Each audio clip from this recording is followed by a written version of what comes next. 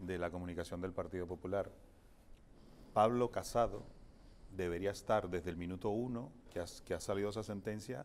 bombardeando todos los medios de comunicación, haciendo un ataque brutal, porque es su, yo no diría su obligación, pero es la oportunidad que le da la vida es su obligación de como, como jefe bueno, de la oposición o del pero es la oportunidad que le da la vida de decir, oye, aquí llegó mi oportunidad de desmascarar a mi oponente y, de- y no está. Sí, lo que pasa Sí, que está de viaje